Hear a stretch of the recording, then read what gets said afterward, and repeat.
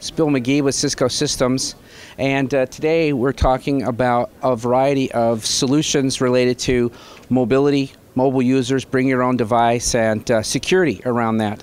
And so security is a critical component of bring your own device, and, and what we're really talking about is that uh, an integrated solution that moves from the endpoint device all the way through the network. And the thing that's really cool about this is that we're able to identify every device on, on your network, every user that's on your network, and attach a policy to them so that now once they get on the network, we, we know what they're doing, we know where they're allowed to go, and the network really enforces that.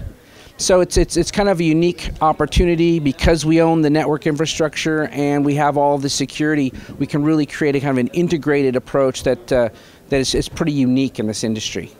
The, the things that are really interesting to me about this conference in particular is that uh, this is an issue that is really emerging. It's, it's right on the edge, and this whole idea of consumerization of IT and what are we going to do with all these devices and these users that are coming onto my network? How do I control and manage them?